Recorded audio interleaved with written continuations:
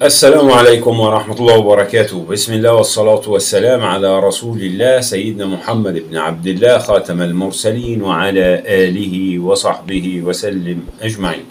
بسم الله ما شاء الله لا قوة إلا بالله. أستغفرك ربي وأتوب إليك. أستغفر الله الذي لا إله إلا هو الحي القيوم وأتوب إليه. في البداية يا ريت كل الناس اللي بتشوفنا تعمل لايك واللي بيتابعنا لأول مرة يشترك معانا بالقناة وما تنسوش تفعلوا زر الجرس علشان يوصل لكم إشعارات بكل الفيديوهات الجديدة الخاصة بالقناة. نبدأ منين من عند سطلانة ولا رقصة مارسيل كولر. لا خلينا نبدأ من عند المشجع الزملكاوي. أنا عايز اسم الراجل اللي هزقني بيفكرني بالفنان الراحل حسن عبدين في فيلم ضرب الهوى حينما ذهب إلى فناة الهوى بيت من بيوت الهوى وقال وهو باشا كبير وهو راجل وده راجل جاي من ألمانيا يا عم الحاج وده راجل جاي من بلد كلها المكناء المكن بلد المكن جاي من ألمانيا يعني وبلد البسكليتات يعني بيصنعوا جاي ضارب مشوار وصارف ومكلف وراح وقف ومسك العلم. بتاع نادي الزمالك ودخل في واللعيبة خارجة من المطار ودخل يقابلهم وش في الوش كده ومفيش حكام ومفيش بيلي مفيش اتحاد كورة وأربعة صفر ووداد. هلا لم يراعي إن النادي ما لم يراعي إن هو مصري ودول اللي بيعملهم مصريين. لم يراعي إن النادي الأهلي طالع من مباراة 2 1 وجاي ومركز وفي ضغوط وفي قرف ومش ومش مراعي إن السنة اللي فاتت في المغرب مباراة واحدة. وجاي بيقول لك مفيش حكام. راجل مفيش خالص يعني. السنة اللي فاتت مباراة لعب نهائي على أرض الوداد في قلب المغرب على ملعب المنافس من مباراة واحدة. وأنت جاي تقول لي وداد ومفيش ظلم ومفيش حكام ده أكتر ظلم اتحصل السنة اللي فاتت. ومع ذلك واقف وش اللعيبة ومحدش فيهم اتكلم كل اللي عامل زي ابتسم. السيد عبد العزيز ابتسم ابتسامة بس. رايح يحتفل مع فرقة غير فرقته في بلد غير بلده مع ضد أبناء من بلده مش مهم بقول لك شجعني. لكن احترم نفسك خليك بعيد اقف مع هو حد من الوداد عمل اللي انت عملته؟ ده مفيش واحد من جمهور الوداد دخل عمل اللي انت عملته المنافس بتاع المباشر. مفيش حد فيهم قدر إنه يخش يستفزني. ليه؟ لأنهم محترمين لأنهم يعني عارفين إيه منافسة شريفة. يعني إحنا دول في نقول إيه؟ وانت بتحتفل وبتحفل على النبي اللي انت بقى حظك السيء بقى ان لعيبة النادي الأهلي اصطادوه في المطار. شفتوا أنتوا الفيديو طبعا؟ ها؟ لعيبة النادي الأهلي قعدت تحتفل وبيحتفلوا عن جدارة وعن ساق أنا بطل بقى بحتفل بنفسي. ما بحتفلش بفرقة تانية مش فرقتي. ها؟ مش دافع مش مش مش مش ضارب مشوار ورايح ها؟ أفضح نفسي وأحرج نفسي علشان فرقتي مش قادرة تفرحني فرايح تاني الفرقه تانية في بلد تانية تفرحني. لا لعيبة النادي الأهلي بقى هم اللي جابوا البطولة وردوا بعد ما جابوا بمنتهى الأدب والاحترام والشياكة وعمالين يحتفلوا وبتاع. كنوع من أنواع الهزار يعني. أنواع الهزار. لكن هل في أي حاجة؟ أنت زعلان ليه؟ لا أنا عايز اسم الراجل اللي هزقني. طب هو في رجالة بتهزق. اولا هي فيلم لا فيش حد هزقه ويقول لك عايز الراجل اللي هزقني ومش ينفع كده نادي القيم بتاع لقطة. هو بتاع لقطة. الراجل بيقول له شتمك. قال لك إيه؟ وبعدين أنا عايز يعرف اسمه. قال ما هو أنت مش عارف حارس مرمى النادي الأهلي؟ ابن الكابتن شوبير. ابن شوبير؟ شوبير؟ مش عارف حارس مرمى النادي الأهلي بتاع شوبير؟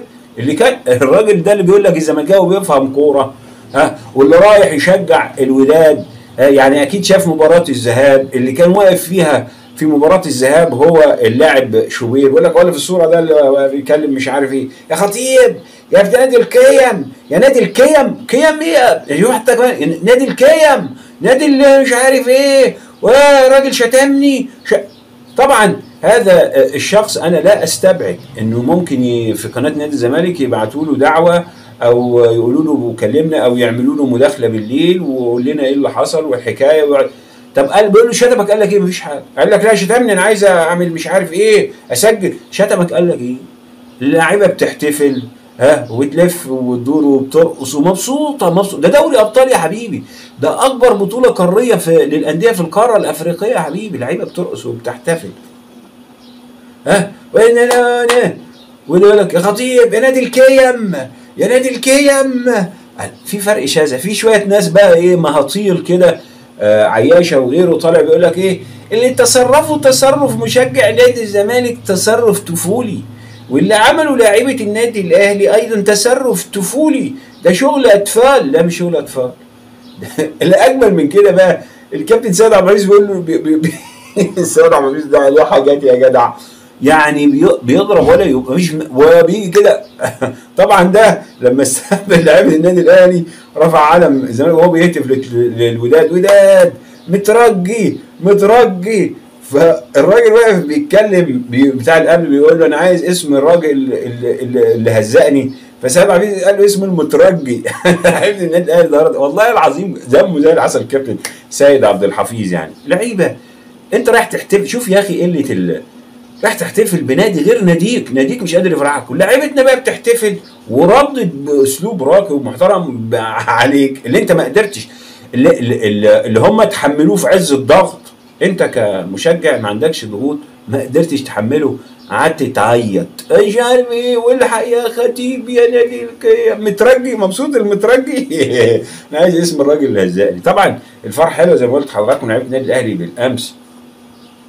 فرحة وروقان ومارسيل كولر وطاهر. والناس بت- بتحسد النادي الأهلي. يعني واحد زي عمرو أديب بيقول لك النادي الأهلي هياخد 4 مليون دولار مكافأة بطولة إفريقيا. بيقول لك دي كل دي فلوس لما تحاسب. اهدى اهدى اهدى اهدى يا عمور. 4 مليون دولار غير كمان تقريبا حوالي من 2 مليون دولار أو حاجة زي كده. ممكن يكونوا المبلغ بتاع كأس العالم للأندية. على حسب إحنا ما نوصل بقى ممكن يزيد كمان يعني. بسم الله ما شاء الله ده فتحه خير يا عم. ده طاقة القدر اتفتحت لنا. هي مفتوحة لنا من زمان بس أنتوا طبعا كابتن الخطيب ومجلس الإدارة آه، بقمة الاحترام والأدب والأخلاق راحوا لمدرجات النادي الأهلي واحتفلوا. آه، طبعا البعثة رجعت صباح اليوم وكان في استقبالهم وزير الشباب والرياضة كله يابا مع النادي الأهلي قلتها امبارح مع النادي الأهلي كله بياخد اللقطة. تخيل بقى يا صديقي إن النادي الأهلي راح كأس العالم المرة التاسعة في تاريخه اللي هتكون في السعودية. في حين أن مانشستر سيتي بقيادة بيب جوارديولا المدير الفني أول مرة يشم كأس العالم للأندية. النادي الأهلي رايح كأس العالم للأندية في كرة اليد. النادي الأهلي رايح كأس العالم للأندية في كرة السلة. النادي الأهلي رايح كأس العالم للأندية في كرة القدم. في يا جماعة جمال أكتر من كده. في جمال أكتر من كده. في ناس كتير بقى في الإعلام يقول لك الأهلي كسر عقدة الوداد عقدة الوداد إيه الوداد لعبني حوالي تقريبا 13 مرة. أنا كسبته خمسة وتعادلنا خمسة وهو كسب ثلاث مرات.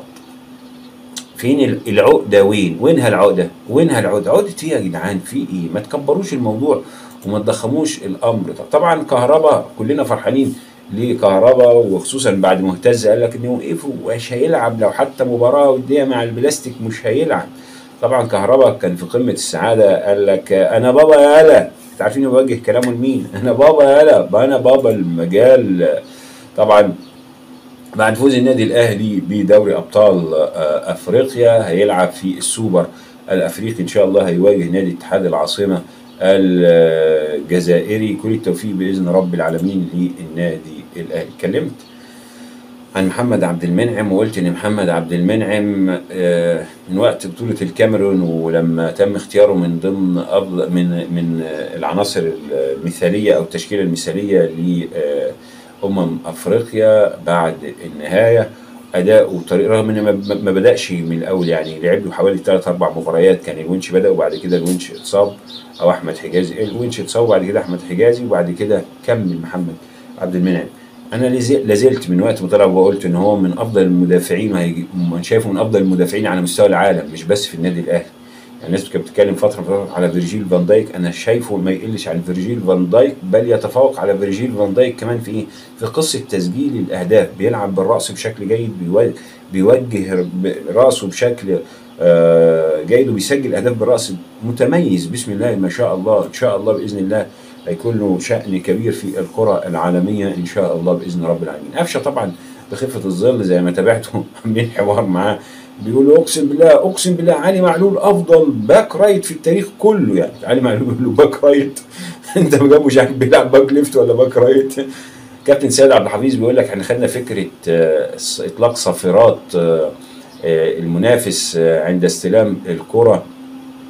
في التدميع وعملناها في التدريب زي ما قلت لحضراتكم آه، انهم جربوا آه، عملوا مكبرات صوت بأصوات الجماهير بتاعه الوداد عشان يبقوا يعيشوا جوه الضغط. قال لك إحنا خدناها من مشجع اسمه كريم هو اللي ادالنا الفكرة ده الفكرة دي وجه من مصر وكان على يقين بالفوز النادي الأهلي.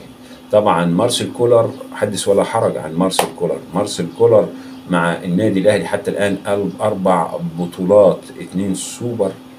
واثنين سوبر وكاس مصر واثنين سوبر والدوري في الطريق ودوري أبطال إفريقيا وإن شاء الله ناخد السوبر الاهلي لكن لك أن تتخيل إن النادي الأهلي طوال مشواره مع النادي مع مارسيل كولر حتى الآن النادي الأهلي لم يخسر سوى أربع مباريات.